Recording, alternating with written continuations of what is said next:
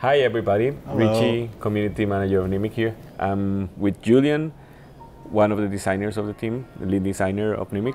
He usually is working in Berlin, but he traveled all the way to Costa Rica to work uh, here with us. Like it's better and easier sometimes to work in the same location. And I want to check with him the design work that was done for the different apps that were released lately.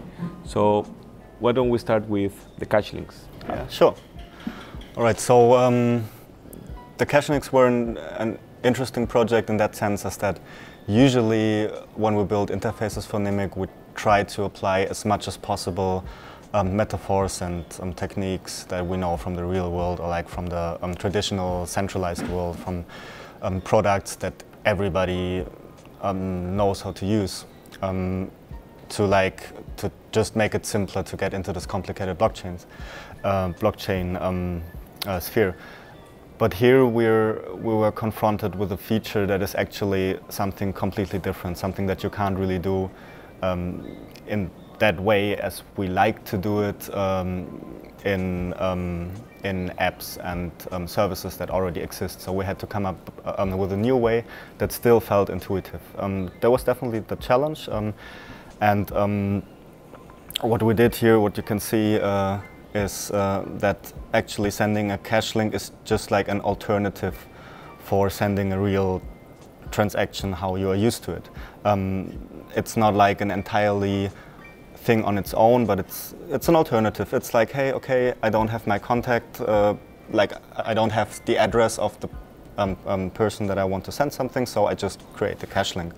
Um, it's also great for onboarding new people that don't have an account yet because it gets you directly uh, into creating an account um, with an already pretty um, positive base feeling of getting some money for free, right? Um, so what I do here is I, I, do basically exactly the same as sending a um, transaction. I can also add a message if I want to, um, and I just click on create, and that's it. It's like it can't get any simpler. Okay, then of course I have to input my password, and then um, and then I'm there. Um, then I just need to copy it, um, send it to someone. It takes some time to fund it because it needs to go through the blockchain, of course. Um, but then, let's wait a second. Now I can copy it.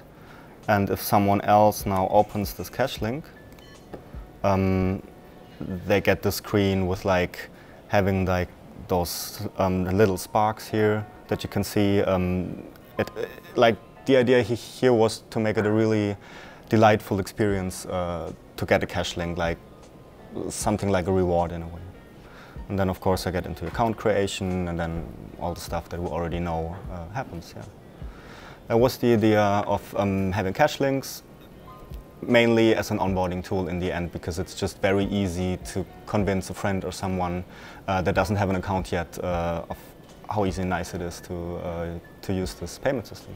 Interesting. So one of the maybe the challenge here was to to use the Cashlinks in a way that don't overcome like encumber the user with more information, more things to more UX because at the end the Cashlink feels like sending another transaction.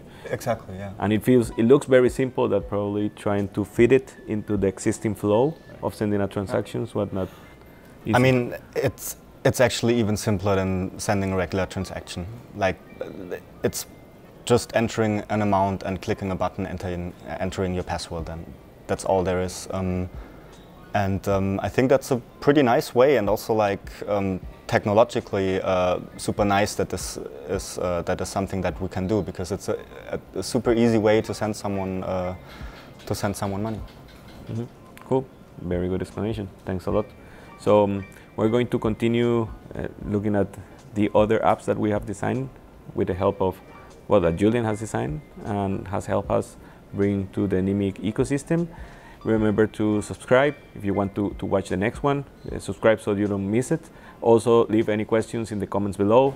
Uh, you can leave questions to, to Julian if you like the design, if you would go with uh, maybe another direction, you have some ideas. If you're actually uh, maybe into design or of uh, illustration, you want to like send some ideas also.